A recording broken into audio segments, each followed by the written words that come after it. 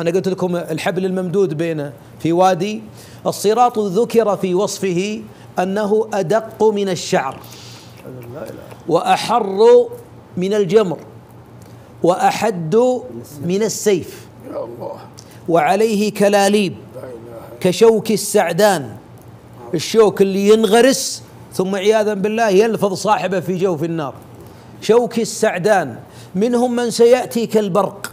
ومنهم من سيكون كالريح ومنهم من سيأتي كأجود الخيل الجياد ومنهم من يركض يعدو عدوا ومنهم من يحبو حبوا ومنهم من ستزل قدمه عياذا بالله. من كان ثابتا على الصراط صراط الطاعة في الدنيا ثبتت قدمه على الصراط بين الجنة بين النار إلى الجنة يوم القيامة. ولكن فيه أمر محزن ومفرح. المحزن لقاطع الأرحام. تدرون ليه؟ الصراط اللي مضروب على متن على جسر جهنم أو على متن جهنم قبل ما تدخله على اليمين الرحم وعلى اليسار الأمانة. خاين الأمانة ولا قاطع الرحم؟ الصراط يغضب عليه ألا يسير فوقه. أشهد أن لا إله إلا الله. والله يا الربع يخوف. عشان بنت عمت ولا بنت خالت ولا ابن عمك أو ابن خالك أو خالك أو عمك ولا ابن أخوك ولا بنت أخوك. أي قطيعة في الأرحام أما نخشى قبل أن ندخل الجسر لنصل إلى الجنة. أن يأتي هذا الجسر فيغضب لله فتقف الرحم.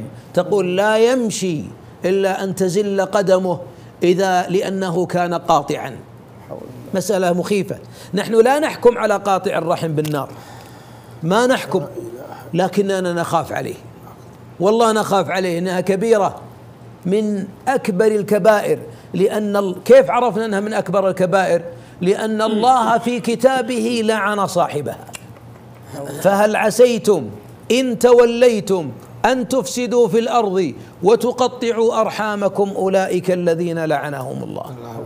فأصمهم وأعمى أبصارهم. يقرون قرآن عميان. آه، يسمعون المواعظ صم. وش السبب يا رب؟ قال أفلا يتدبرون القرآن أم على قلوب أقفالها؟ فيا الربع الصراط هذا بشركم للمؤمنين كالبرق. لكن صحح قلبك قبل ما تسلك. أنت لو بتطلع لك طلعة وسيارتك الكلبليتر خربان والبواجي خربانة وعزم السيارة ضعيف والكفرات بتطلع لك عقبة. والله ما تطلع العقبة. يا ويلي شو تقول؟ تقول والله موتر اني اني انفقع مع جنبه.